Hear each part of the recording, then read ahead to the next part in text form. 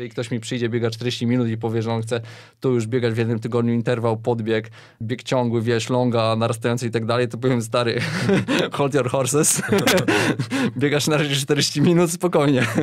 E, więc tutaj z tych e, takich bodźców treningowych nie należy od razu wszystkich strzelać, bo rzeczywiście potem, e, potem jak się wystrzelamy ze wszystkiego i ktoś biega 40 minut, a już wali tam ponad 100 km grubo, to, to później jest ciężko, bo, no bo już nie ma co dokładać.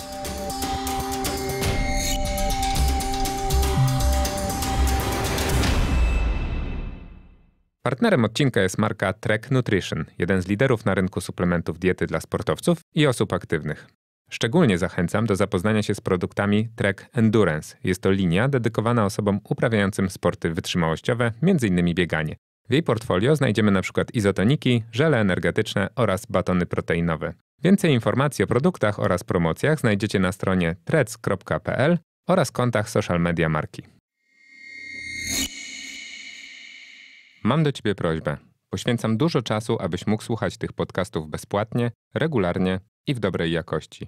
Dziś proszę Cię, abyś to Ty poświęcił dosłownie kilka sekund na ocenę podcastu na Spotify, subskrypcję na YouTubie lub zaobserwowanie moich kanałów w mediach społecznościowych. To dla mnie szczególnie ważne, gdyż jestem solowym twórcą. Dzięki temu wsparciu docieram do nowych słuchaczy i mam szansę dalej rozwijać swój projekt. Zajmie Ci to tylko chwilę. Zrób to teraz. Dziękuję i zapraszam na dzisiejszą audycję. Cześć, to Kuba Pawlak. E, powiedziałbym dziś, że zapraszam Was na kolejną treningową rozmowę, ale de facto będzie to coś zupełnie odwrotnego. W tym odcinku chciałem porozmawiać o wszystkim tym, co treningiem właśnie nie jest, a co wpływa na potencjalne modyfikacje planu treningowego oraz ogólnie na naszą sportową dyspozycję. Jednym słowem, jeżeli trening wraz z całą otoczką zabiera nam powiedzmy dwie godziny dziennie, to dzisiaj porozmawiamy sobie o tym, co się dzieje w pozostałych 22 godzinach doby i jak to wpływa na naszą formę, w zależności od czynników tych zależnych od nas i niezależnych. Jak modyfikować te nasze plany treningowe, aby sportowo jak najmniej stracić, jak to wie, może nawet opracujemy jakiś patent, jak można na tym zyskać. E, skąd taki pomysł na odcinek? E, po pierwsze, wydaje mi się, że sporty wytrzymałościowe, w tym bieganie, e, są jednymi z tych, które, aby osiągnąć pewien poziom wymagają najwięcej, jeżeli chodzi o higienę takiego funkcjonowania. E, one kradną nam to życie małymi porcjami i wraz z rozwojem sportowym zagarniają tego życia coraz więcej. Biegaczem, przynajmniej tym bardziej ambitnym, jest się w sumie przez całą dobę i to może jest powód, dla którego często jesteśmy tymi dziwakami, których unika się na imprezach towarzyskich lub w pomieszczeniach socjalnych w pracy, w obawie, abyśmy nie rozgadali się na temat biegowych podbojów, diet czy rolowań. E, z drugiej strony mam też takie przeświadczenie, że dla wielu z nas e, na poziomie, na którym jesteśmy, bardziej istotne dla formy sportowej niż to, jak idealnie zaplanujemy sobie trening, jest to, co zrobimy przed, po i jak go zregenerujemy, jak na przykład wyśpimy się e, w weekend. No i takich zmiennych pozatreningowych jest zdecydowanie więcej właśnie u nas, czyli osób trenujących amatorsko, pracujących, mających rodziny, kredyty, obowiązki. Dlatego zaprosiłem dzisiaj do studia kogoś, kto nie dość, że sam sam stał się jednym z najbardziej rozpoznawalnych w kraju biegaczy amatorów, to zajmuje się trenowaniem właśnie sobie podobnych od bardzo dawna, będąc wciąż jednym z najbardziej rozchwytywanych trenerów na rynku. E, podejrzewam, że przez jego ręce przeszła już taka liczba biegaczy, że jest to już jakaś grupa istotna statystycznie, której nie powstydziłby się, e, nie powstydziłyby się najlepsze przedwyborcze sondażownie. E, a znając mojego gościa, wiem też, że nie chowa swojej wiedzy i przemyśleń do szuflady, dlatego jestem pewny, że konstruktywnej i ciekawej rozmowy, z której każdy z nas dzisiaj wyniesie coś do swojego warsztatu, bo moim gościem jest Bartek Olszewski, znany jako warszawski biegacz. Cześć Bartek. Cześć, cześć Kuba. Witam, witam wszystkich słuchaczy i E, gratuluję pięknego, jak zwykle przydługiego wstępu, ale, ale było on bardzo fajnie. Ja tylko powiem na początku, że tam powiedziałeś, że dwie godziny treningu dziennie, no jakbyśmy tak dwie godziny dziennie trenowali, to już można by było się na igrzyska szykować. No ale tak, porozmawiajmy, myślę, że to jest bardzo fajny temat i, i warto go ugryźć. Powiedziałem e, precyzyjnie dwie godziny treningu, które zajmuje nam trening z całą otoczką, tak? Jasne. Więc e, podejrzewam, że zanim zasznurujemy buty, wybierzemy sobie dobry podcast, e, wejdziemy jeszcze pod prysznic, a być może ktoś na przykład się rozciąga, nie wiadomo, może są, są tacy. Są tacy. To podobno są. Chodzą takie legendy, więc, e, więc kto wie, może tak faktycznie jest. E, mniejsza o szczegóły, o szczegółach sobie porozmawiamy w dalszej części, ale ty, ty właśnie już tutaj ujawniłeś swój analityczny umysł, bo byłeś z zawodu programistą, więc mhm. skoro tak analitycznie podchodzisz do tematu, to może na początek właśnie oszacowałbyś na szybko, ilu tych podopiecznych mogłeś mieć w swojej trenerskiej karierze, przygodzie. Od kiedy trenujesz w ogóle biegaczy i ilu mogło się ich przez e, lata uzbierać? No i powiem od razu, że zbanuję wymijające odpowiedzi, bo wiem, że dasz radę policzyć. Tak. Znaczy wiesz, ja ten, ja się, ja się nigdy raczej nie migam od takich odpowiedzi, nie są to żadne e, tajemnice. I tutaj jest tylko, chciałem powiedzieć, bo wiesz, e, co innego jest trenować kogoś rzeczywiście, być jego trenerem takim online z pełną kontrolą treningową, a co innego powiedzmy, nie wiem, spotykać się, ja od chyba już no na pewno od ponad 10 lat, myślę jakiegoś 2012-2013 roku prowadzę treningi grupowe, kiedy to jeszcze nie było modne i praktycznie ich nie było. Pamiętam, chyba pierwsze treningi były do BMW e, półmaratonu praskiego. No i potem się tak to ciągnęło, no pod tym względem się na pewno setki biegaczy przewinęły, które się spotykały, e, które ze mną rozmawiały i rozmawialiśmy o planach, treningach. E, jeżeli chodzi o takie treningi już stricte osób konkretnie, no to też już się ciągnie plus minus od tego samego okresu. Natomiast no tak od trzech lat, powiedzmy trzech, e, czterech już bardziej zajmuję się tym zawodowo. Ile osób się przewinęło ogólnie. E, Myślę, że około 100. Nie, mhm. nie, nie znam dokładnej liczby, naprawdę tu jakby nie, nie ja tego, to, to jest tak jakbyś mnie spytał, już się zawsze śmieję, ile maratonów przebiegłem, to bym ci nie powiedział. Mm -hmm. Natomiast to, to jest ten rząd liczb, oczywiście to nie jest tak, że w tej chwili trenuje tyle osób, e, bo, bo to by było niemożliwe po prostu. Tutaj wiadomo są rotacje, są osoby, które na przykład chcą się przygotować konkretnie, powiedzmy przebiec maraton, spełnić marzenie. Niektóre osoby są ze mną od 4, 5 albo więcej lat, e, niektóre trenują sezonowo, więc to różnie, natomiast myślę, że 100 to się na pewno przewinęło. No właśnie, czyli możemy już trochę na tym tym twoim doświadczeniu pobazować, bo będąc z nimi, z nimi w kontakcie, no na pewno znasz już te najbardziej standardowe y, takie przywary, nieprzywary i trudności tak naprawdę, które wynikają z połączenia treningu z y, życiem. O, nazwijmy to, to w ten mm. sposób. Tu cały czas na roboczo będziemy próbować wymyślić w ogóle tytuł tego podcastu, bo, bo jak nazwiemy go pozostałe 22 godziny poza treningiem, to nie będzie zbyt sexy i nie będzie wiadomo o co chodzi, ale może gdzieś to nam e, wyjdzie. Ale jestem jeszcze ciekawy, zanim zaczniemy rozmawiać o pozatreningowych rzeczach, to po tych latach, o których y, powiedziałeś, y, jestem ciekawy, czy wypracowałeś jakąś taką swoją autorską myśl treningową, bo to zawsze jest taka, wiesz, wypadkowa różnych źródeł, mhm. doświadczeń i, no i tego, co, co sam wymyślisz. Jestem ciekaw, czy masz swój taki znak rozpoznawczy. Ja znając kilku twoich mhm. zawodników, coś bym mógł zasugerować, ale nie chcę, nie chcę tego robić. Najpierw może ty powiedz. Kurczę, to nie wiem, wiesz. E, znaczy, ja bym powiedział, że raczej nie zawsze takie, zawsze takie określenia training system, coś tam, e, running formula i tak dalej, trochę mnie śmierzą, bo tak naprawdę uważam, że to jest, e, no, trening biegowy jest e, od lat, on, on się nie zmienia jakoś bardzo, tam nie ma, nie wiem, jakichś nie wiadomo fajerwerków i to jest kwestia poukładania, dopasowania tego do zawodnika. Wiadomo, że każdy opiera może bardziej na jakimś systemie, nie wiem, jeden bardziej na szybkościowym, drugi bardziej interwałowym, ktoś na bardziej wytrzymałościowym. Ja nie wiem, czy, czy osobiście jest coś, w, co ja bym tak bardzo stosował u swoich zawodników. Co, mm. coś, co jakbyś zobaczył plan treningowy rozpisany na kartce i zobaczyłbyś taką a taką jednostkę, jest... to byś wiedział, że to musi być twój. To, jakby to jest tak... jak podpis elektroniczny. jakby zobaczył tam jakiś e, rozbudowany trening interwałowy, gdzie się dużo dzieje, to to pewnie bym powiedział, że to ja. No tak. e, a to wynika z tego i to pewnie będziemy o tym rozmawiać, że przez te wszystkie lata zauważyłem, że u większości zawodników właśnie amatorskich e, coś, co ich e, hamuje w rozwoju, to jest monotonia treningowa i naprawdę mm, wystarczy ten trening troszkę zmienić zmienić, e, żeby on wyglądał inaczej na papierze. Im się wydaje, że robią coś innego, cały czas coś innego tydzień w tydzień i mają, mają ochotę to robić, rzeczywiście robią. E, natomiast jak co tydzień dostają 5 razy kilometr, 4 razy 2, e, dziesiątka ciągłego, to się po prostu tym nudzą. A jak dostaną na przykład, wiesz, 3 razy, 3 razy 600 z przerwą 100 metrów, przerwa 3 minuty między blokami, to jest wow, idą i wiesz, zajarani. I to, to jest super. Ja sam, uwierz mi, że ja sam sobie takie treningi robię, jakby wiem, że to jest, bo o to chodzi w treningu, to jakby tutaj nie ma złotych środków. To, to jest praktycznie to samo, ale wystarczy troszkę zmienić e, i od razu inaczej fajnie się biega. W innym, ciekawszym pudełku. Nie? Dokład, dokładnie mogę tak. pokazać ci moje notatki, dokładnie to sobie zapisałem. Więc... e, A widzisz, no to, to jesteśmy zgodni, tak, ale to rzeczywiście e, staram się to robić, od lat to robię e, i, i rzeczywiście to jest, y, mam odzew, że rzeczywiście mm, ludzie lubią te treningi, właśnie lubią jak się dużo zmienia, lubią jak to jest ciekawe.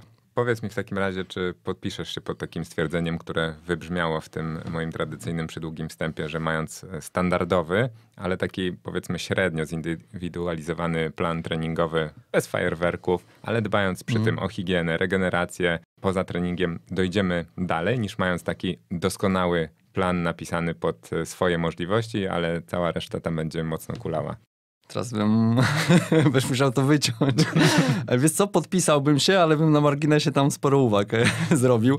E, rzeczywiście bym się podpisał, natomiast e, ważne jest, że realizując ten plan, rzeczywiście, jeżeli ktoś dostanie taki plan treningowy, który wcale nie jest idealny, ja w ogóle uważam, że nie ma idealnych planów treningowych, e, ale powiedzmy, że to jest plan, który nie do końca nawet pasuje, nie jest on jakiś wybitny, patrzysz na niego i dużo rzeczy byś zmienił, ale ktoś go realizuje i rzeczywiście, poza tym, że właśnie to, co mówisz, wysypia się, regeneruje, odpowiednio odżywia, to jeszcze w ten plan, m, jak ja to mówię, wkłada serce. W sensie on realizuje ten plan z taką poczuciem, że ten plan gdzieś go zaprowadzi. Wierzy w to, e, robi trening, ma świadomość, po co ten trening robi.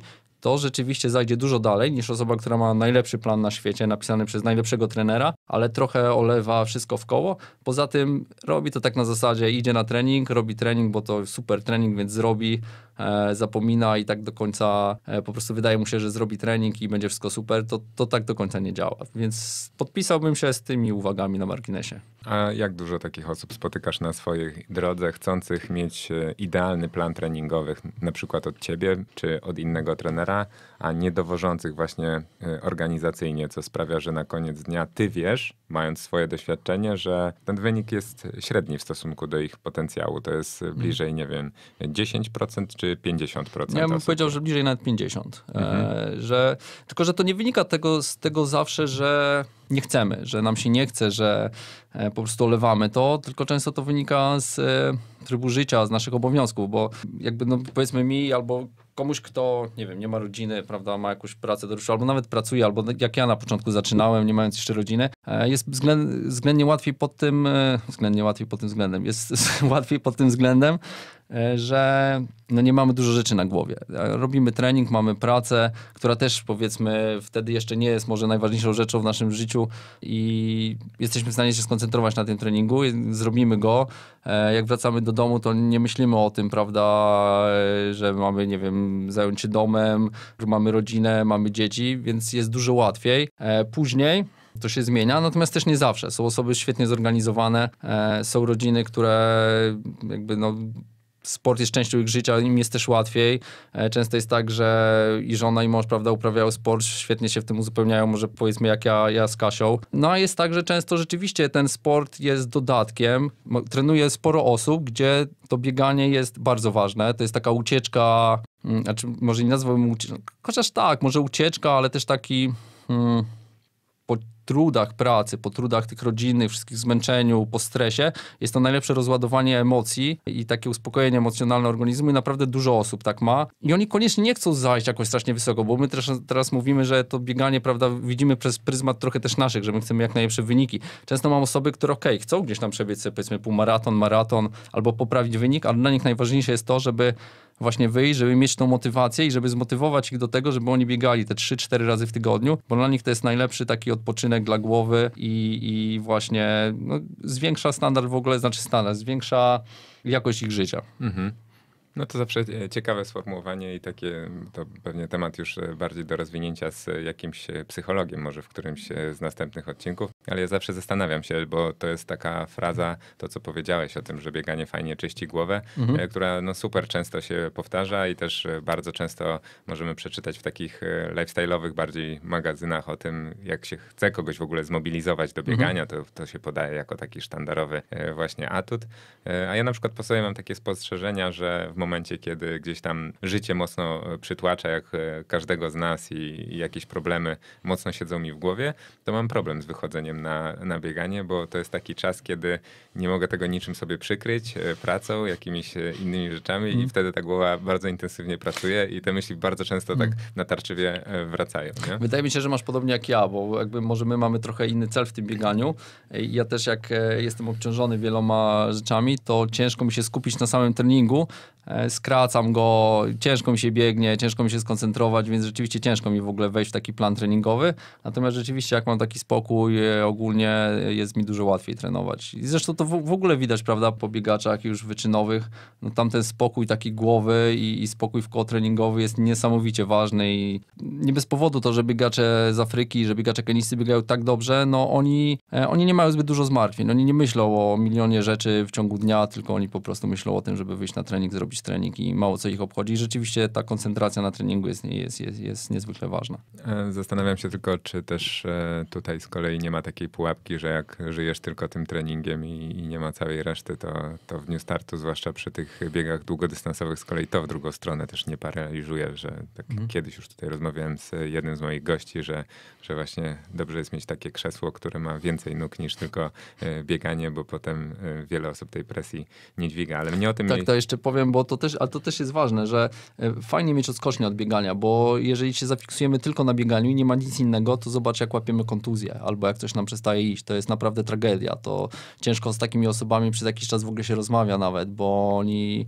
e, muszą pauzować powiedzmy tydzień, dwa. Znikają już nie, już, tak, już, no dokładnie, już nie mówię tu wiesz o trzech miesiącach, ale to, to są ciężkie przypadki. Rzeczywiście jakby rzeczywiście każdy, e, też to psycholog powie i tak dalej, warto mieć jakąś odskocznię od tego biegania, warto też e, mieć coś innego. E, a z tą presją no to różnie jest. Niektórych rzeczywiście to paraliżuje, niektórych to nakręca, to, to jest coś, nad czym też trzeba pracować. Pewnie to jest element treningu moim zdaniem, w ogóle sportowego, biegowego, nie tylko biegowego, ale ogólnie sportu. Już tu nam się przebiło to, że ten mój podcast, no, oprócz tego, że właśnie podnosi świadomość, to też nie pudruje do końca rzeczywistości.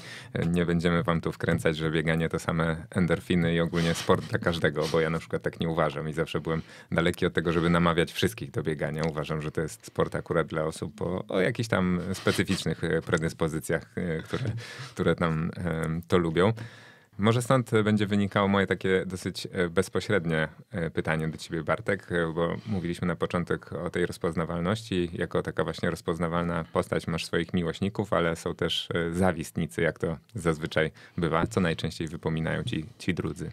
Ojej, wszystko już mi chyba wypomnieli. Nie wiem, czy znalazłbym rzecz, której by nie wypomnieli. Nie no, tam się dużo tego przewijało, ja już... Nie, no naprawdę, ciężko mi wymienić jakąś konkretną rzecz, bo... No ale jak to taka, taka szpila, wiesz, już taka powiedzmy poniżej pasa, to, to jest co? Nie wiem, czy jakby szpile są poniżej, ale że ogólnie wiesz, no to wynika, jak, znaczy... Jak, po, powiem ci, do czego mhm. piję. No, no tak, razie. tak. Bo, bo naprawdę e... bym był w stanie wymienić ci tu 100 rzeczy, jeśli nie ja, wiem, która jest najgorsza. Tak, śledząc twoje media społecznościowe miałem wrażenie, uważam właśnie, że to jest jedna z takich rzeczy poniżej pasa, że takie osoby, którym zależało ci, żeby, e, żeby dopiec ci za wszelką cenę, wypominały ci na przykład złamanie zmęczeniowe.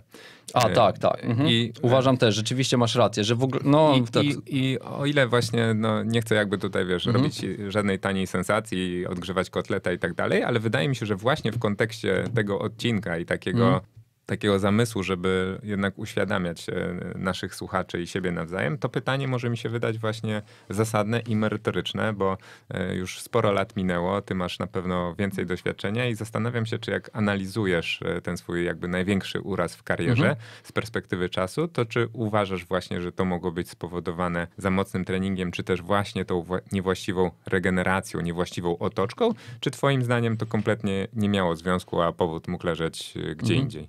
Zgadzam się z tobą w 100%. Uważam, że w ogóle komuś wypominanie jakby i takie, nie wiem, hejtowanie, krytykowanie za kontuzję jest w ogóle nie na miejscu i to jest jakby bardzo ciężki, mm, ciężka sprawa dla każdego biegacza. Też to jest na zasadzie, że wiesz, e, osiągasz, wygrywasz w moim przypadku Wingsa jakby ludzie nie, naprawdę nie widzą, ile pracy za tym stoi. To absolutnie uważam, że e, może z pięć osób e, widziało, jak ciężko pracowałem na, na te sukcesy. Natomiast łapiesz kontuzję i, i wiadomo, wszyscy są mądrzy. E, czy Wiadomo, że po, po czasie jesteś mądrzejszy. Na pewno wpłynęło to na to, że rzeczywiście jak trenowałem, jak pracowałem normalnie na etacie, siedziałem 8 godzin dziennie przy biurku, pozycja siedząca nie jest optymalna, więc to, to miało na pewno wpływ. E, no też ciężko powiedzieć, że ciężki trening nie miał wpływu, no bo jest to złamanie zmęczeniowe, więc doszło do jakiegoś zmęczenia. E, natomiast wiesz, jak ludzie słyszą coś takiego jak złamanie zmęczeniowe, to wydaje mi się, że Boże, co ten człowiek nie robił, że to w ogóle e, no wiesz, wyobrażają sobie, że no, trenujesz na zasadzie, że po każdym treningu leżysz, umierasz i tak dalej. Natomiast mało kto wie, że jest to, z tego co ostatnio czytałem, druga najczęstsza kontuzja w ogóle wśród biegaczy wyczynowych. E, że jest to bardzo częsta kontuzja, która, też najczęstsza kontuzja, która nie jest rozpoznawalna, bo jak ktoś ci mówi na przykład, że nie biegał 6 tygodni czy 7, bo go piszczel bolał, bo miał zapalenie okostnej, to ja się mogę założyć, że to było złamanie zmęczeniowe, że to, to jest naprawdę bardzo popularna kontuzja, tylko trzeba zrobić rezonans, a mało kto robi rezonans i, i widzi, że miał po prostu złamanie. Więc tak, uważam, że jest to bardzo niefajne, że kogoś się krytykuje za złamanie. E, znaczy, że w ogóle się krytykuje za, za kontuzję. Wszyscy się myślę, ja i słuchacze pod tym podpiszą, ale zastanawiam mhm. się, jakbyś właśnie mógł y, określić, na ile sam trening, a na ile rzeczy około treningowe związane z regeneracją mogły, jeżeli to jest w mhm. ogóle możliwe. A być może ty mhm. na przykład po latach doszedłeś do tego, że nie wiem, że powód był zupełnie inny i nie dotyczył za bardzo y, tych sfer. No, powiedziałeś, że trening. Co bym pewno... powiedział, że 50 na 50. Okay. E, ciężko mi jest to tak dokładnie. Tam na pewno jakby składowych na pewno było sporo. To nie jest tak, że przeważnie, że to jest jedna rzecz. Że, no okej, okay, e, zmęczenie, e, też e, to trening w zimie, przez, jak, wiesz, bez jakiejś odpowiedniej, powiedzmy, rozgrzewki, normalna praca na etacie, jednak spora objętość, bo zaczynałem się przygotowywać do Mistrzostw Świata na eliminacji, do Mistrzostw Świata na 100 km.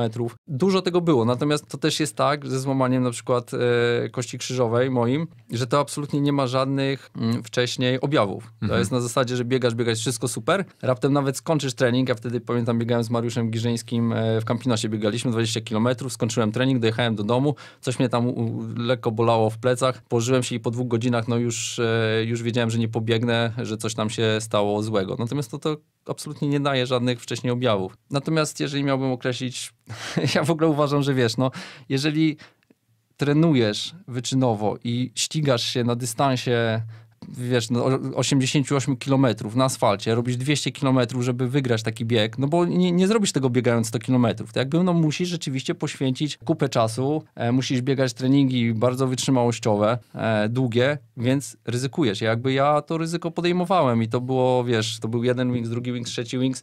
Rzeczywiście, może powinienem zrobić dłuższe roztrenowanie, może powinienem bardziej odpocząć. Ciężko to powiedzieć. Ja później robiłem masę badań, densytometrię kości, robiłem badania mm, składników mineralnych, wapnia, witaminy D i tak dalej, żeby zobaczyć, czy coś na to wpłynęło. Nie, wszystko było super, ale kość jakaś nie wytrzymała. Skądinąd najmocniejsza kość w organizmie, więc żadna inna nie puściła. To jest... więc wiesz, e, no różnie, to też się wydaje niesamowicie rzadkie. Później jak poczytałem, bardzo dużo biegaczy w Stanach miało tą samą kontuzję. Bardzo podobną miał ostatnio Jan Frodeno w triatlonie. Emma Coburn miała, z tego co pamiętam, e, chyba Datan Litzenheim.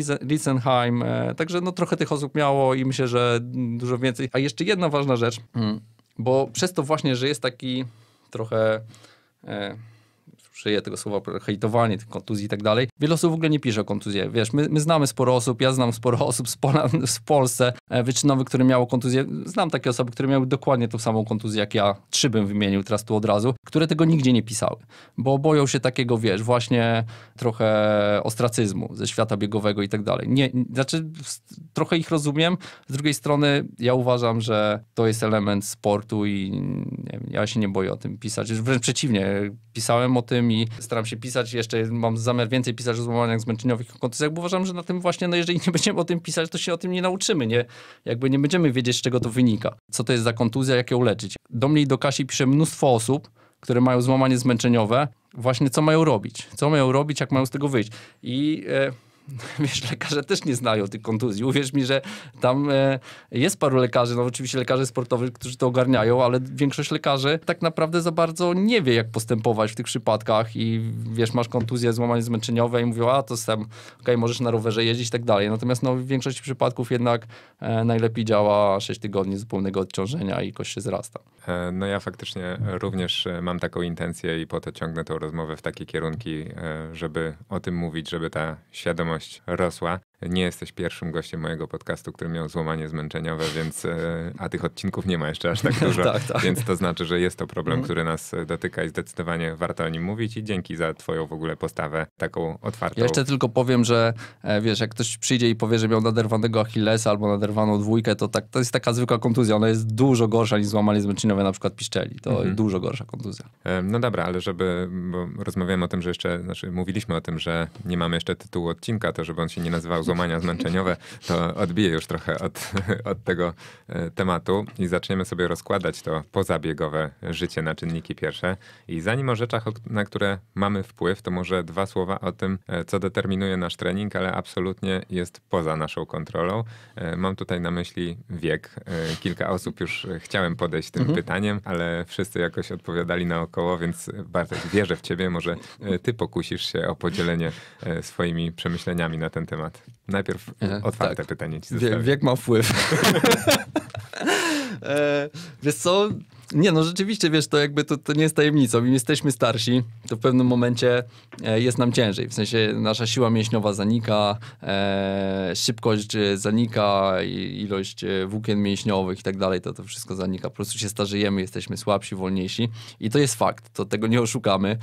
Natomiast no to też nie jest tak. Wiele osób myśli, że prawda, że nie wiem, ma 40 lat, tak teraz mam 30, 39 i że to już jest tragedia, że to już wiesz. To, e, jeżeli no, biegamy na poziomie wyczynowym e, i trenujemy 800 metrów, to już jest tragedia dla nas, już nie mówiąc o sprincie. Chociaż też już są przypadki, to jakby sport e, pokazuje z roku na rok się wiekowo wydłuża i coraz starszy. To też w kolarstwie bardzo widać, w piłce nożnej, prawda? Kiedyś tam 35 lat, to już tenisista 35 lat to już mastersów kończył a teraz, teraz jeszcze 40 grają, e, grają w wielkich szlemach. Natomiast rzeczywiście no, e, jest ciężej, natomiast to też nie jest tak, że ten trening totalnie powinien się różnić. Wręcz jakby, może inaczej, jeżeli rzeczywiście masz 20, nie wiem, 5-30 lat, to dużo więcej rzeczy twój organizm jest w stanie ci wybaczyć. Jak masz 40 lat, to już mniej ci jest w stanie wybaczyć.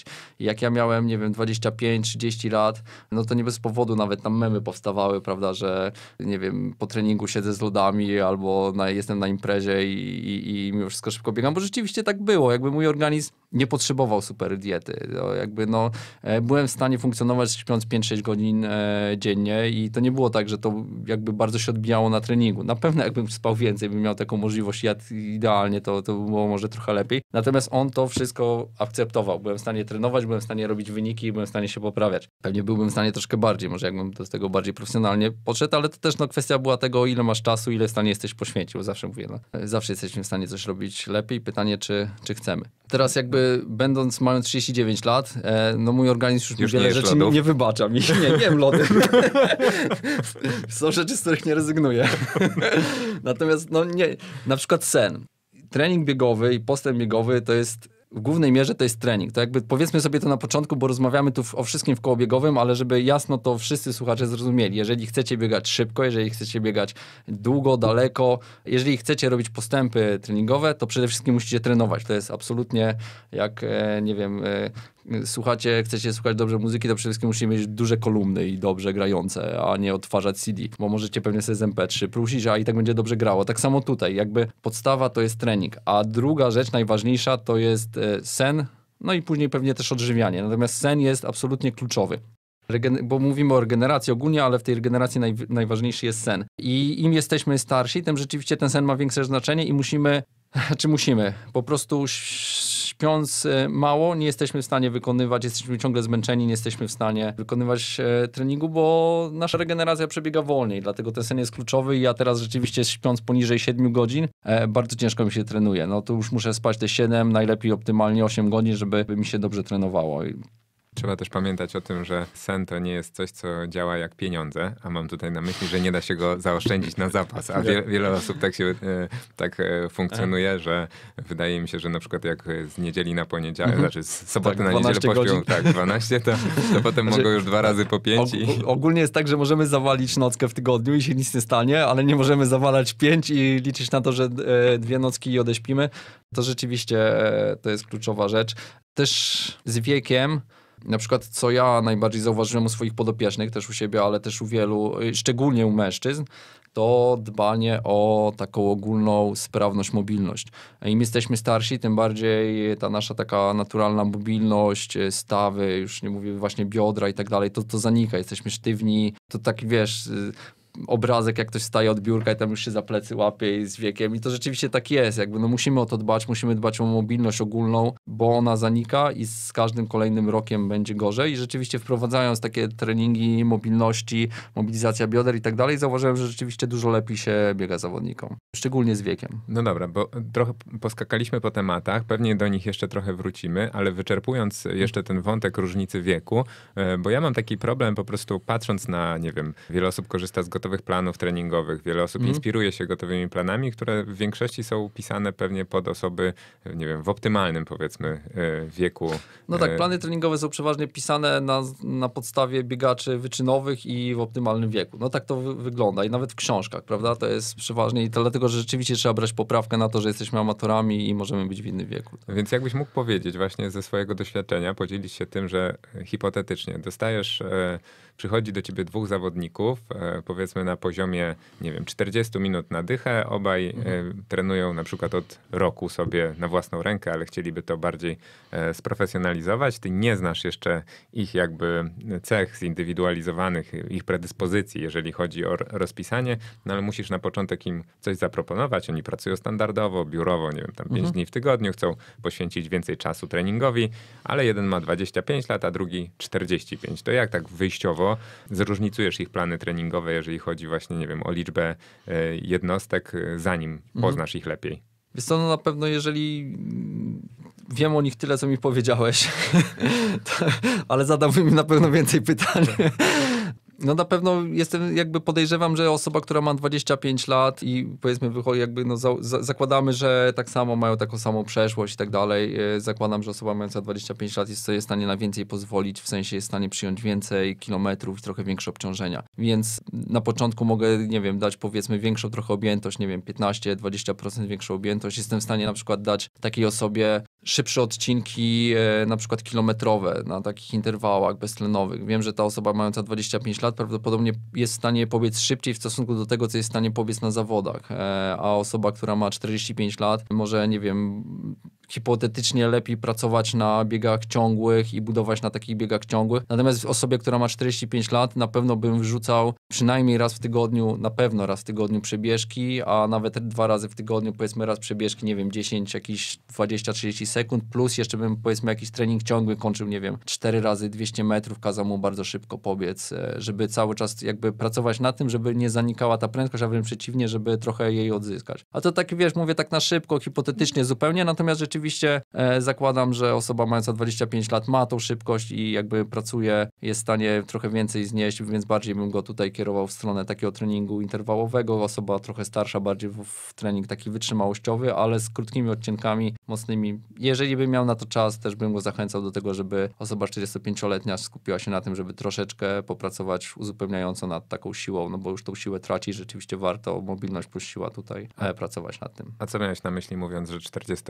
45-latek będzie w stanie biegać zawody z większą różnicą temp niż e, ma to miejsce na treningach, że on na tych treningach po prostu już e, nie da rady takiej intensywności e, znosić, czy ma, nie wiem, czy na przykład ma, mają 45-latkowie mhm. już mocniejsze głowy po latach doświadczeń i są w stanie więcej cierpienia na, Wiesz na nie, biegu. zauważyłem, że jest tak, że na przykład jak, załóżmy, że tak, żeby okrągła liczba była, 20 minut biegają 5 kilometrów, to przeważnie jest tak, że ta osoba 25-letnia jest w stanie zrobić 5 razy kilometr po, nie wiem, po powiedzmy 3,40. To, to jest duży, olbrzymi zapas, 20 sekund e, i on to zrobi. Przeważnie to zrobi na przerwie takiej dwie minuty. Natomiast ta osoba, powiedzmy 45-letnia, będzie mu ciężko. To już jest dla niego prędkość, gdzie, gdzie bardzo szybko już dochodzi do takiego długu tlenowego i, i ciężko mu jest to skończyć. Natomiast jak mają biec zawody, to powiedzmy pobiegnie 3,50, 3,55. Natomiast jak pobiegną zawody, to prawdopodobnie bardzo podobnie pobiegną. E, ja wiesz, ja dzisiaj biegałem, tutaj śmieję się z dziećmi i biegaliśmy kilometrówki praktycznie tyle samo, a, no, a na zawodach powiedzmy na dychę jakbym dużo, dużo szybciej pobiegnę. To też trochę wynika jakby z tej mojej lat e, biegania i takiej wytrzymałości ogólnej, ale rzeczywiście takie, że starsze osoby przeważnie lepiej sobie radzą na dłuższym, ciągłym wysiłku niż na krótkim takim powiedzmy do 5 minut e. Natomiast to, to nie jest też jakby, to jakby nie chcę mówić, że tak jest po prostu. Natomiast to jest tak coś, co powiedzmy e, rzeczywiście jakbym miał powiedzieć, to w jakiejś tam sporej mierze rzeczywiście się, się sprawdza, że tak jest. Ale jeszcze tak No. ten, ja bym dał bardzo podobny trening na pierwsze 2-3 tygodnie i zobaczę po prostu, jak oni sobie radzą. Dopiero później bym się... No, to, To jest tak standardowo, tak, tak. nie, nie mam wątpliwości Tak, co do mhm. tego, ale, ale e, co, coś tam chciałem z ciebie wyciągnąć, Pewnie. bo wiadomo, że trudno jest hipotetyzować na wymyślonych Mhm. tutaj ludziach i przypadkach, bo to jesteś trenerem, żeby zindywidualizować ten plan do, do wszystkich tych czynników. Wiesz, jeszcze jak wokół ktoś do mnie przychodzi, ma 45 lat i mówi, że chce biec maraton, to okej. A jak ktoś do mnie przychodzi i mówi, że ma 25 lat i chce biec maraton, to, To mówię, może 20 spróbujemy lat. piąteczkę. znaczy to też jakby absolutnie nie uważam, że 25 lat to jest dobry wiek na maraton, ale to jest wiek, gdzie możesz naprawdę bardzo duży postęp zrobić i bardzo szybko na 5, 10, 5 km, 3 km. Jeżeli myślisz o bieganiu w perspektywie nie roku, tylko paru lat, to warto rzeczywiście tutaj mocno się skupić na tym na początku, a dopiero później. U mnie na przykład to był może ten błąd na pewno mój. Każdy chce przebiec maraton, ja tak samo i troszeczkę zaniedbałem. Jakby na pewno by, byłem w stanie dużo szybciej biegać 5-10 km, pewnie teraz bym biegał szybciej maraton. Szukamy kolejnych czynników. Jednym z istotnych elementów e, naszego życia wpływających mocno na organizm jest e, organizacja dnia i praca. Jej typ, godziny. E, Mam na przykład kolegę, który jest górnikiem, pracuje fizycznie pod ziemią i biega. Minuty tak naprawdę dzielą go od e, złamania trójki w maratonie. Może nas słucha, to pozdrawiam przy okazji Arka. E, powiem szczerze, że jak wyobrażam sobie e, siebie w jego sytuacji, to raczej tak myślę sobie, że po pracy pewnie pierwsze, co chciałbym zrobić, to poleżeć sobie trochę Mhm. na kanapie. On jakimś sposobem wychodzi na to bieganie, łączy ten trening z pracą o takim charakterze fizycznym. Zastanawia mnie, jak to by zdeterminowało plan treningowy. Czy masz, pracowałeś z takimi osobami i czy wypracowałeś jakieś e, patenty, które pozwalają łączyć taką po prostu Mhm. e, ciężką fizyczną pracę z Jasne. bieganiem? Jest to co więcej, e, nawet górnika trenuje. Masz też Dobra, i górnika. też i tak łamie trójkę. Złamał. E, wiesz co? Tak, to ma olbrzymi wpływ rzeczywiście. Ja, ja podziwiam takich ludzi, bo zmianowo się ciężko trenuje. Jak w treningu bardzo fajna jest taka przewidywalność. W sensie, jeżeli nawet pracujesz codziennie, ale powiedzmy, nie wiem, 8-16, to masz to wszystko poukładane, organizm się do tego przyzwyczaja i po jakimś tam czasie to zaskakuje wszystko i, i normalnie funkcjonuje. Jeżeli pracujesz zmianowo, to jest ciężko. I to też bardzo zależy od biegacza, e, jak on reaguje i czy na przykład on woli biegać przed pracą. Na- Znaczy, pierwsze co robię, bo jak ktoś pracuje zmianowo, to przeważnie ma tak, że ma takie okienka 2-3 dni wolne. I staramy się tam e, wpleść najtrudniejsze treningi. To pierwsze, co robimy. A drugi trening ciężki, ja staram się wpleść mimo wszystko przed pracą. Mhm. E, że bieganie mocnych treningów po pracy jest bardzo ciężkie. W sensie, jeżeli ktoś trenuje, jeżeli ktoś pracuje w ogóle fizycznie, zmianowo i fizycznie jest na nogach, to przeważnie ma bardzo zmęczone nogi już po pracy i to nawet nie chodzi o to, że on ma zmęczone nogi, wiesz, jak po siłowni, tylko nawet jeżeli stoisz, powiedzmy, pracujesz w kuchni, powiedzmy, stoisz 8, 10, 12 godzin na nogach, e, no to po, po tej pracy masz bardziej zmęczone nogi, często jak po treningu dobrym i rzeczywiście jest ciężko. Wtedy rozbiegania jak najbardziej. Ja to też stosuję taką trochę metodę, że nie od razu, tylko położyć się na pół godzinki, wypić sobie kawę i poleżeć rzeczywiście z nogami w górze pół godziny i to rzeczywiście bardzo dużo zmienia. To jakby dużo łatwiej jest po prostu ruszyć, bo te nogi e, trochę nam, nam odpuszczają. Polecam też bardzo po, robo, po robocie, po pracy, żeby zrobić, e, porolować sobie trochę te nogi. E, wziąć wałek i dosłownie 10 minut porolować, później trochę nogi do góry, kawka, jakaś przekąska i iść na rozbieganie. Czasem wtedy naprawdę trening wchodzi tak, jakbyśmy tej pracy nie mieli. To, Mhm. to trzeba też się tego nauczyć, ale ciężkie treningi raczej przed pracą, jeżeli ktoś idzie, nie wiem, na 12, 14, to, to przed pracą, później chwilę odpocząć, zjeść coś e, i osoby się przyzwyczajają i rzeczywiście po tej jakby naprawdę dobrze, jak nie, nie, powiedzmy nie, nie, nie padają w tej pracy, e, lepiej to wychodzi.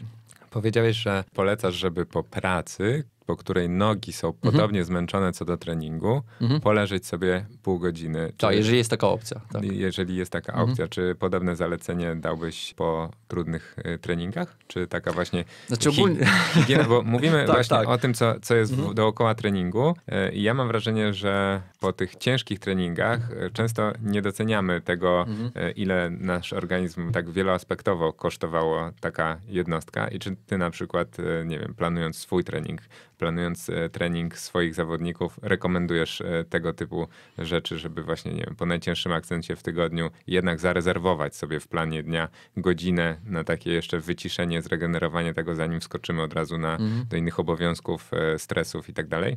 Tak, ale prawdę mówiąc, w bieganiu amatorskim praktycznie nikt nie ma na to czasu i E, I to przeważnie jest tak, że rzeczywiście, że nie mają tego czasu, że to jest tak, że no mają dużo innych obowiązków, przeważnie rodzinnych. Jeżeli ktoś może sobie pozwolić jak najbardziej, mówię, że znaczy taka higiena potreningowa, jak kończymy trening, to rzeczywiście powinniśmy zadbać o w pierwszej kolejności o taki odpoczynek ogólny i uzupełnienie węglowodanów i, i też trochę białka. I to jest, to jest rzeczywiście bardzo ważne, to bardzo przyspiesza regenerację. Jeżeli mamy opcję poleżenia, drzemki, no to to rewelacja. To rzeczywiście super i szczególnie po tych najcięższych treningach to, to bardzo dużo daje. A jak już trenujemy dwa razy dziennie, to w ogóle jest e, mega sprawa i warto, warto z tego korzystać. Szczególnie właśnie jak trenujemy dwa razy dziennie, to tak, to wtedy mówię, jeżeli chcesz trenować dwa razy dziennie, a nie masz czasu na odpoczynek między tymi treningami, to raczej, raczej bym rekomendował zawsze, mówię, raz dziennie, nawet trochę więcej, ale, ale to przyniesie większy skutek niż, niż takie dobijanie. No bo wtedy ten drugi trening to moim zdaniem jest dobijanie często już organizmu, a nie, nie jakaś tam korzyść treningowa.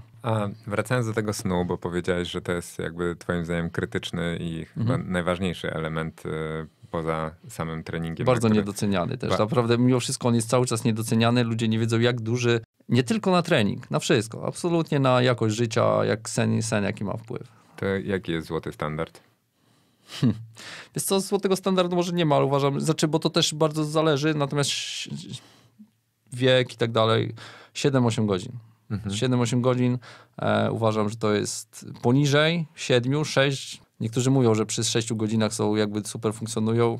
Myślę, że niedużo jest takich osób naprawdę, które. Bo wszystko się da. Ja też funkcjonowałem przy 5-6, ale jak zacząłem spać 7-8, to widzę różnicę. Tak ogólnie po jakimś czasie widać tę różnicę. Też nie warto przesadzać, natomiast bo to też jakby wynika jakby no też z tego, ile trenujemy. Jeżeli trenujemy 4 razy w tygodniu, to też nie warto spać codziennie po 9 godzin, jeszcze drzemki robić, bo, bo wtedy naprawdę mąż czy żona już powiedzą, weź się puknij w głowę i weź się do roboty.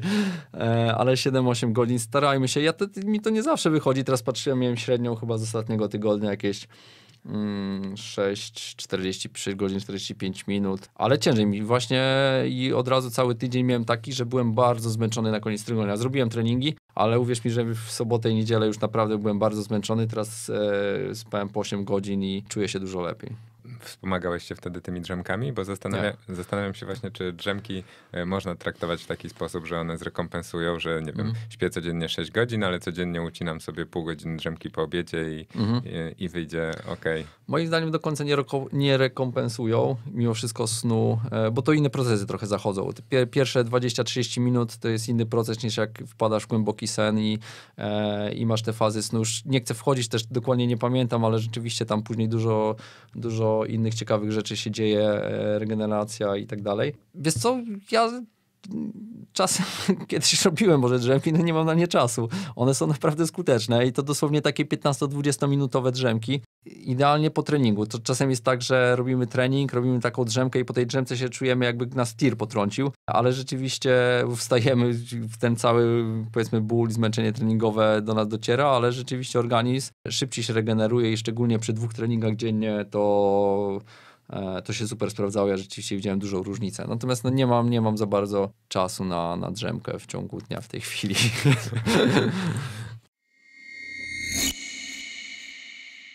Partnerem odcinka jest marka Trek Nutrition, jeden z liderów na rynku suplementów diety dla sportowców i osób aktywnych.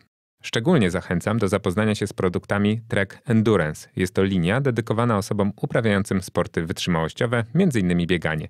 W jej portfolio znajdziemy np. izotoniki, żele energetyczne oraz batony proteinowe. Więcej informacji o produktach oraz promocjach znajdziecie na stronie trec.pl oraz kontach social media marki. Zastanawia mnie jeszcze jedna kwestia, w sumie nie wiem, bo te, ten temat to jest gdzieś coś pomiędzy treningiem a nietreningiem, ale też jestem bardzo ciekawy, zwłaszcza Twoich doświadczeń w kontekście pracy z zawodnikami, właśnie, którzy nie są wyczynowcami, e, bo takim elementem, który można powiedzieć, że jest około treningowy, który często wkrada się do świadomości ambitniejszych biegaczy, jest hipoksja i korzystanie mhm. na przykład z namiotów hipoksyjnych. Ty jesteś biegaczem, który jakby poszukuję możliwości podbicia formy. Gdzieś tam mm, sportowo na pewno mocno zbliżyłeś się do granicy e, swoich możliwości. Ja nie wiem, czy ty nie widziałem jakoś, żebyś ty korzystał z tych e, technologii. Mhm. Jestem ciekawy dlaczego. Widziałem cię w górach w St. Maurice, natomiast e, w namiocie chyba nie, ale może ja tak nie mhm. śledzę bardzo szczegółowo. Jestem ciekawy o twoje doświadczenia, ale też czy właśnie jak to wygląda u twoich podopiecznych. Czy jeżeli ktoś zgłasza się do ciebie i proponuje, że trenerze, mhm. ja bym chciał poszukać swoich atutów w czymś takim, mhm. to co ty mówisz takiej osobie? E, wiesz co, jakby absolutnie nie mam nic przeciwko namiotom hipoksyjnym. Ja rzeczywiście nie spałem w namiocie hipoksyjnym, e, natomiast chciałbym e, i całkiem możliwe, nie wiem, może w tym roku uda mi się zrealizować. Natomiast tu jest u mnie dużo rzeczy, które jakby Namiot hipoksyjny nie jest taki po prostu łatwy do wdrożenia, bo to jest teraz u mnie tak, jest turka, jest kot, jest żona, jest ograniczone mieszkanie, to, to trochę hałasuje. E, więc, e, więc trochę tych rzeczy jest, to, to nie jest takie hop natomiast może uda mi się wdrożyć w tym roku. Osobiście uważam i to też jak, nie wiem, rozmawiałem z osobami, które przez lata trenowały wyczynowo, jeździły w góry, spały w namiotach, no jednak wyjazd e, w góry wysokie da dużo lepszy efekt, znaczy na, da lepszy efekt pod tym względem, że u amatora ta hipoksja to to nie jest game changer. To jakby my myślimy, że okej, okay, pośpimy w namiocie, pojedziemy w góry, wrócimy i będziemy latać. Nie, to tak nie działa. To powiedzmy sobie szczerze, ja nie wiem, organizując obóz biegowy w tym roku w St. Moritz, też szczerze mówię ludziom, jedziemy na 10 dni, mówię, słuchajcie, wy wrócicie i to nie będzie tak, że tu macie po prostu czerwone krwinki wielkości piłek ping-pongowych, tylko, tylko jakby największą zaletą takich wyjazdów dla amatorów to jest właśnie to, że oni jadą do świata, gdzie, który żyje bieganiem, wiesz, wychodzą z hotelu w St. Moritz, widzą mistrzów olimpijskich, widzą jak oni trenują, trenują razem z nimi i to jest tak niesamowity bodziec motywacyjny, jakby to ciężko przecenić, że taki amator trenując, on naprawdę jakby rośnie w oczach, że to z każdym treningiem on jest lepszy, on jest bardziej zmotywowany, on wraca i jest taki jakby zbudowany. Ja też tak miałem w 2015 roku, jak pierwszy raz byłem w St. Moritz. Ja byłem wtedy dwa tygodnie, no wiesz, dwa tygodnie, no nie, nie, nie, miałem, nie wiem, o hemoglobinę chyba o pół lepszą, no to to jest prawie nic. Natomiast ja byłem tak podbudowany e, psychologicznie, tak jakby nakręcony na trening przez najbliższe miesiące, że rzeczywiście to był niesamowity kop motywacyjny i to mi bardzo dużo dało. Natomiast jeżeli chodzi o namioty, jeżeli ktoś by się do mnie zgłosił, ja nie miałem zawodników, którzy spali w namiotach. Jeżeli ktoś by się zgłosił i powiedział, że chce spać, ma taką możliwość, jak najbardziej bym to rekomendował i wdrożył to. Też trening na zasadzie prawda, śpi wysoko, trenuj nisko jest optymalny i rzeczywiście jesteśmy w stanie najlepsze wyniki wtedy osiągnąć według wszelkich tam protokołów, badań, czyli prawda. A, a załóżmy, że jest to ten hmm? zawodnik, o którym rozmawialiśmy, któryś, nie wiem, może być 25, a może być ten 45, hmm. to sobie wybierz e, latek, e, który biega 40 minut na dychę i biega od roku hmm. i przychodzi ci z takim pomysłem, bo mówi, nie wiem, no ja nie mam kota, żony no tak. i e, takich rzeczy i mogę sobie to zainstalować, albo mam 20 pokojów i nikomu nie będzie to e, przeszkadzać, to ty takiej osobie mówisz, e, ok, pobawmy się tym, czy mówisz, e, ok, ale najpierw wyczerpmy wszystkie inne bodźce, bo masz jeszcze ich całe mnóstwo, mhm. które mogą cię popchnąć do przodu, e, a potem gdzieś tam będziemy szukać tego typu rozwiązań, czy... Wiesz co, jeżeli przychodzi do mnie osoba i mówi, że chce taki namiot e, i powiedzmy finansowo nie jest to dla niego problem, bo nie wiem, ma pieniądze na to, chce sobie spróbować, bo ja mu mówię, znaczy powiem mu tak, mówię, słuchaj, możemy zrobić trochę innych rzeczy, prawda, to nie jest jakby coś, co zmieni wszystko, ale jeżeli chcesz, jeżeli, nie wiem, nie jest to przeszkoda finansowa i tak dalej, to z namiotem nie mam problemu. W sensie tak, weź ten namiot, śpi w nim i rzeczywiście stosuj go w treningu. Natomiast powiem mu stary, jest dużo rzeczy, które jesteś w stanie zrobić lepiej się przesuniesz szybciej niż dzięki namiotowi. E, ale to jest trochę, wiesz, jak, jak w triatlonie. Powiedzmy, nie wiem, waży 10 kilo za dużo, ale e, tam, nie wiem, ceramiczną sobie przerzutkę kupisz za tysiące złotych, która da ci dwa waty i wydaje ci się, że będziesz szybszy. To trochę tak jest z namiotem i jakby no, ja nie uważam, bo wiesz, wiele osób się z tego śmieje, ja też czasem się zaśmieję, ale nie uważam, że to jest złego. No jak sam możesz kupić ten namiot, też pamiętajmy, że to bieganie, ten trening ma nam sprawiać radość. Jeżeli ktoś śpi w tym namiocie i jego to tak buduje, to czemu nie? No to śpi w namiocie i e, możemy sprawdzić, e, prawda, jak to zadziała. Natomiast jeżeli masz 25 lat i biegasz 40 minut dychę, to tak jak mówię, jest dużo więcej rzeczy, które, e, które pchną cię do przodu niż, e, niż namiot. Natomiast jeszcze taka jedna rzecz, bo sam, bo to jakby dobrze powiedziałeś, że jakby no mamy dużo rzeczy, jakby nie, nie, jakby nie strzelajmy od razu, wiesz, z armaty i nie idźmy w namiot. Ten namiot nie będzie taką rzeczą, uważam, którą już wprowadzony tak na początku, coś powiedzmy zakłóci, że na zasadzie później taka osoba dojdzie, nie wiem, do 30 minut i ten namiot już nie da mu takiego bodźca, on dalej będzie dawał, natomiast może nawet większy wtedy. Natomiast treningowo rzeczywiście, jeżeli ktoś mi przyjdzie, biega 40 minut i powie, że on chce tu już biegać w jednym tygodniu interwał, podbieg, bieg ciągły, wiesz, longa, narastający i tak dalej, to powiem stary, hold your horses, biegasz na razie 40 minut, spokojnie. E, więc tutaj z tych e, takich bodźców treningowych nie należy od razu wszystkich strzelać, bo rzeczywiście potem, e, potem jak się wystrzelamy ze wszystkiego i ktoś biega 40 minut, a już wali tam ponad 100 km grubo, to, to później jest ciężko, bo, no bo już nie ma co dokładać. Czyli ty mu dasz po prostu to dwa razy 200, trzy razy 400, pięć razy tak, 600 tak. swoją kombinację. Dokładnie tak, dokładnie tak. Powiedziałeś, że to uatrakcyjnia swoją drogą trening biegaczem. Ja zastanawiam się, czy są tacy, którzy przez to na przykład mają większego stresa, nie? że boją się, że czegoś nie zapamiętają. Co, za, zapisują sobie na rękach, naprawdę. Jakbyś mi... Słuchaj, przyjdź kiedyś na nasz trening New Balance Run Club, to zresztą, Jezu, przecież byłeś nieraz, e, ale tam jest, e, jak ja daję taki trening, to ludzie stoją i się patrzą na mnie, jakbym im jakoś, wiesz, wiersz mówił, kazał zapamiętać, a tam trzeba zapamiętać tylko dwie długości przerw i tak dalej, więc to tak, dla niektórych jest wielkim wyzwaniem, ale zapisują sobie na ręce i, i dają radę. Ale teraz wiesz, nie, no jest technologia, wgrywają w zegarki, zegarek no im mówi. Gorzej jak zegarek padnie, miałem takie przypadki, zegarek pada i to już jest koniec wtedy. Wracają do domu. No właśnie, właśnie. Nie, ja jestem zdecydowanie z tych, którzy nie potrzebują e, uatrakcyjnień. E, już 10 razy kilometr też jest dla mnie tak. bardzo, bardzo atrakcyjne. bardzo atrakcyjne. Sam sobie mógłbym się zestresować, ale, ale tak. pewnie każdy by sobie mhm. z tym poradził. Bartek, na koniec zostawiłem jeszcze temat odżywiania i suplementacji, bo no tak plus minus co 10 odcinków mhm. wpada tutaj wiadomo Zosia Piotrowicz, która jest ekspertem w, tym, w tej dziedzinie. Natomiast e, e, jestem ciekawy mm, Twojej perspektywy. Czy Ty masz jakieś takie spostrzeżenia, patrząc na pracę właśnie z e, tak dużą liczbą biegaczy? Czy coś z tego, mhm. z tego pudełka ogranicza często możliwości rozwoju osób biegających, czy, bo wiesz, taki oczywisty strzał to za duża masa ciała, nie? Tak, chciałem też chciałem strzelić. Chociaż mam... Potwierdzasz? tak, ale potwierdzam, tak, za duża masa ciała, tak. E, wiesz co, nie, no na pewno ogranicza, tu w ogóle chciałem przy okazji powiedzieć, że rzeczywiście podcasty z Zosią to są moje ulubione podcasty i ja je sobie zapisuję, nawet mam taki ten, e, czasem wracam e, na przykład o, o żelazie, prawda, albo o żelach, super. Pierwsza rzecz to jest rzeczywiście za duża masa ciała i jeżeli ktoś biega, wiadomo, w bieganiu, nie wiem, w kolarstwie, sportach wytrzymałościowych przeważnie ta masa ciała jest kluczowa i rzeczywiście należy dążyć do no do tego, żeby ona była optymalna. Nie, nie musimy, jakby, ja nie mówię, to biegamy amatorsko, więc jakby to, to nie musi być tak, że musimy wyglądać jak, prawda, wyczynowy biegacz kenijski.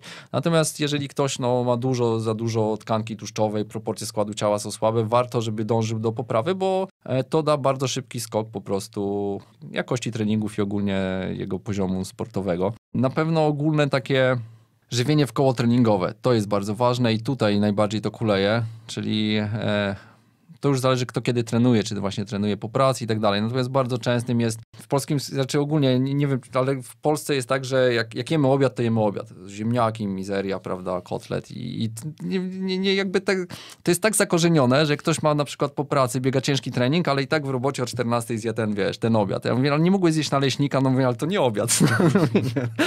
I to rzeczywiście nad tym trzeba pracować. To jest problem bardzo wielu osób.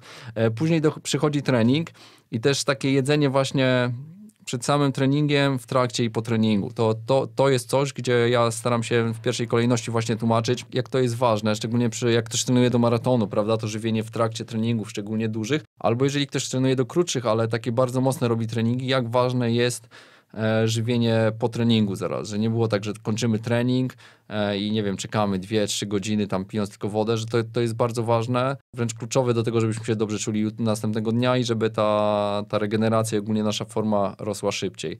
Ale to takie żywienie, mówię, szczególnie właśnie przed treningiem, to uważam, że tutaj rzeczywiście możemy, e, możemy najwięcej zyskać rezygnując często z naszych przyzwycza przyzwyczajeń e, na rzecz jakichś właśnie lżejszych posiłków e, szybkostrawnych, mm, bo na tym się po prostu dużo lepiej biega. Ale też, też mam dużo przypadków i to szczególnie to już częstsze jest u kobiet, gdzie ta masa ciała jest zbyt niska. E, I nawet teraz jedną zawodniczkę odesłałem, znaczy może nie odesłałem, ale poleciłem właśnie Zosię, która, która pracuje z Zosią, która te, no masa ciała jest na granicy powiedzmy. Ja wtedy też się trochę boję, bo no u kobiet wtedy ta triada zawodniczek jakby wchodzi i bardzo wtedy bardzo rośnie ryzyko kontuzji, złamań zmęczynowych i tak dalej. Dlatego warto o to dbać i też starać się, żeby ta masa nie była za niska. E, a rzeczywiście czasem też potrafi, potrafi w tą stronę e, to lecieć. No właśnie, ja tak pomyślałem, e, bo jak wcześniej jeszcze rozmawialiśmy o tych złamaniach zmęczeniowych, to powiedziałeś o tym triatloniście, który, który miał złamanie zmęczeniowe, a wiadomo, że tamten trening jest mniej obciążający. Wśród triatlonu to wszyscy prawie mieli w Ironmana. Tak, a teoretycznie jest trochę mniej obciążający dla mhm. układu ruchu, no bo rower aż tak nie obciąża, pływanie wiadomo, że nawet e, korzystnie mhm. wpływa na, no na, tak, na wiele tak. aspektów, a biegają też zazwyczaj wolniej, no i mhm. trochę mniej, no bo mhm. aż tyle No tak, znaczy ja to też jakby wyszedłem z tego takiego triatlonu top poziomu, prawda, tak. i o tym mówię. I tam, no. I tam zazwyczaj ta masa ciała właśnie jest jednym z powodów, tak, no mhm. bo trenując do dystansu Ironman, no to E, ci zawodnicy, zawodniczki, no mhm. to naprawdę muszą pochłaniać e, tysiące kalorii tak, tak, e, dziennie. Jeżeli ktoś to zaniedba i ta masa właśnie mu spadnie, mhm. no to, to organizm bardzo szybko daje znać, że są te deficyty, zaburza się właśnie hormony, cała no tam reszta, jest taka ciekawa biografia braci Brownlee. Oni tam, to jest tak, że albo jeden, albo drugi ma złamanie przeważnie, no ale oni bardzo ciężko trenują, naprawdę to jest taki morderczy trening. No ale wiesz, też jakby no ilość ich medali, igrzysk olimpijskich i tak dalej jest tak wielka, że to to, to nie przychodzi tylko z talentu. to trzeba włożyć odpowiednią pracę do tego, a praca niesie ze sobą też ryzyko urazów. Jasne. Bartek, zmierzamy ku końcowi e, rozmowy. E, ja jakby przeszliśmy te rzeczy, które ja sobie wypisałem, jeżeli chodzi o to, co właśnie wokół treningu może wpływać na naszą dyspozycję, ale może jeszcze ty byś coś e, zaproponował, no bo e, jestem ciekawy, może nawet na swoim przykładzie, co tobie teraz, mimo lat hmm. doświadczenia, lat treningu, najbardziej przeszkadza w zrobieniu formy życia, bo rozumiem, że e, wciąż walczysz o życiowe rezultaty, nie powiedziałeś zdecydowanie pas. Absolutnie, ja w ogóle teraz jestem strasznie nakręcony, bo e, moja żona kochana, e, jak powiedziałem, że 15-20 łamie, to się zaśmiała na piątkę piątkę, więc ja jestem teraz tak zmotywowany jak nigdy w życiu. Wiesz, że jest taka tutaj w rodzinie walka, że muszę teraz udowodnić, że, że, że te 15-20 no piątkę połami, więc jestem bardzo zmotywowany. To gdybyś miał określić, mhm. co będzie, co wiesz już nawet dzisiaj, że będzie największym, e, największą przeszkodą w zrealizowaniu mhm. tego celu, a co nie jest e, samym treningiem, to co by to było w twoim przypadku? Ja może powiem inaczej, e, na, na, na okrętkę. Ucieknę. E, nie, wiesz co? E, po tych wszystkich latach, kiedy ja trenuję, kiedy trenuję innych, uważam, że, bo jakby często widzimy te przeszkody, ale największą e, taką wartością, która nas przesuwa do przodu, jest nasza taka świadomość i pewność tego, co robimy i gdzie zmierzamy. I naprawdę ten aspekt psychologiczny jest niezwykle istotny. E, jeżeli my trenujemy, i ja na przykład ja trenuję i trenuję do powiedzmy wyniku teraz załóżmy te 15-20 złamania na piątkę, to ja muszę wiedzieć po co trenuję, muszę każdy trening, który robię, tak jak na przykład dzisiaj, to muszę wiedzieć jakie on ma znaczenie, co muszę zrobić i ogólnie cały plan treningowy, ja wiem, gdzie zmierzam i wiem, wiem, wierzę w to, że mogę to osiągnąć. Bo jeżeli ja trenuję do czegoś i nie wierzę w to, albo idę na trening z świadomością, że coś robię trening, ale w sumie to robię trening i tyle, to mnie tak nie nakręca i nie mam, tak, jakby nie przesuwa mnie tak do przodu. Także aspekt psychologiczny jest niezwykle istotny i pewność siebie, pewność siebie, pewność tego, że jesteśmy w stanie coś osiągnąć jest myślę, że równie ważna jak to, co robimy. To, to musi być połączone, czyli trening, nasza taka siła, e, siła głowy, to ogólnie powiedzmy siła głowy. Zaprosisz tu kiedyś psychologa, to ci opowie. Ale silna głowa plus regeneracja, żywianie i i zrobimy, co mamy zrobić. Teraz mam mały problem, bo wymyśliłem sobie tak teraz, jak to mówiłeś, że e, zakończę tę rozmowę życząc ci tego, żeby to 15-20 pękło, ale z drugiej strony tak sobie ja, myślę, że ja... skoro Kasia powiedziała, no. że nie dasz rady i to wpłynęło tak na, na, taką dużą motywację, to ja może też e, tutaj publicznie zadeklaruję, że e, Bartek, nie dasz rady. Ja, ja to wierzę w 15. Kaśka się śmieje, że, że moja pewność siebie jest tak duża, że w ogóle ona mogłaby rozdzielać wszystkich. nie, ja wierzę, ja wierzę w 15 jak najbardziej, złamanie w 15. Może jeszcze w tym roku. Ja uważam, że to jest kwestia tego, ile jestem w stanie z siebie dać, a nie kwestia tego, czy mogę. Może mi się to uda, może mi się to nie uda, ale wiem, że, że jestem w stanie to, to zrobić. Okej, okay. no to Bartek, w takim razie nie życzę ci 15-20, tylko życzę ci, żeby ta pewność siebie e, była cały czas na takim poziomie. Dziękuję. E, wszystkim słuchaczom również biegajcie zdrowo, biegajcie mądrze i bezpiecznie i do usłyszenia w następnym odcinku. Dzięki, do usłyszenia.